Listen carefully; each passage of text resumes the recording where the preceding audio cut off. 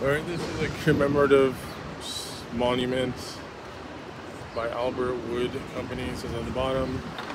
It says up top to commemorate Christmas Eve 1910 when Louis Louis Tetrazzini, probably, I can't really see, sang to the people of San Francisco on the spot. That's kind of interesting. And there's another commemoration. Let's see. Reconstructed by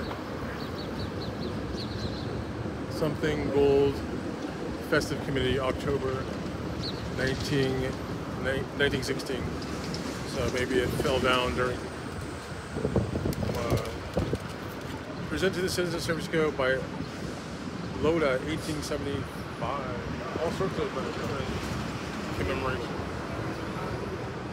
Believe they're going to have the 1906 earthquake uh, commemoration tomorrow.